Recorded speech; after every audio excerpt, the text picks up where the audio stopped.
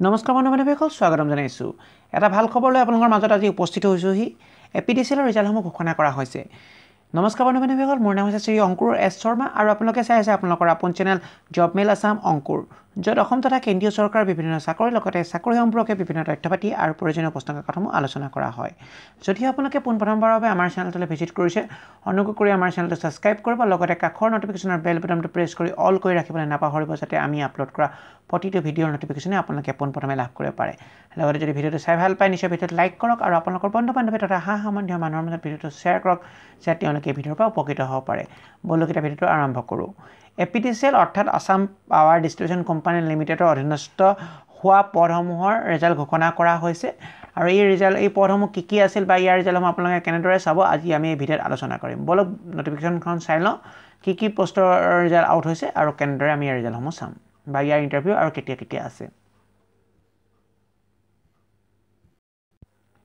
চ' এইখন হৈছে নটিফিকেশ্যনখন আপোনালোকে দেখা পাইছে Assam power distribution company limited.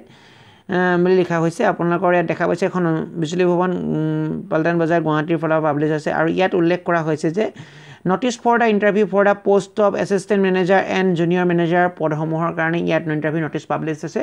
আৰু ইয়াত কি কৈছে আমি চাই লওঁ the result of the C B T test for the post of assistant manager and junior manager of A P D C L will be announce shortly Uh, and the personal interview and shortlist candidate will be uh, held during February 11 to 14, 2021 at the National Power uh, Training Institute, uh, North, Northeastern Region, Kahilipara, Guwahati 19.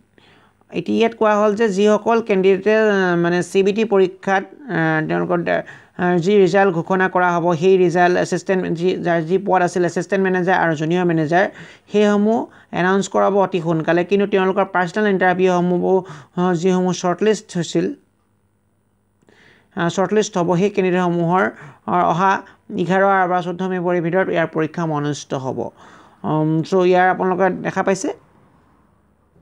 চ' যদিহে আপোনালোকে এই পদসমূহৰ এই পদসমূহৰ আপোনালোকে apply কৰিছিল account assistant আৰু junior junior মেনেজাৰৰ কাৰণে তেতিয়াহ'লে আপোনালোকৰ ৰিজাল্টসমূহ আজি এই আঠ ফেব্ৰুৱাৰী তাৰিখে এডভাৰটাইজমেণ্টটো প্ৰকাশ পাইছে অৰ্থাৎ চৈধ্য ফেব্ৰুৱাৰী আগত আপোনালোকৰ ৰিজাল্টসমূহ ঘোষণা কৰা হ'ব আৰু যদি আপোনালোকে পাছ কৰিম বুলি আশা ৰাখিছিল তেতিয়াহ'লে আপোনালোকে পাৰ্চনেল ইণ্টাৰভিউৰ কাৰণে প্ৰেক্টিছ কৰক যি অনুষ্ঠিত হ'ব এঘাৰ ফেব্ৰুৱাৰীৰ পৰা চৈধ্য ফেব্ৰুৱাৰীৰ ভিতৰত গুৱাহাটীত।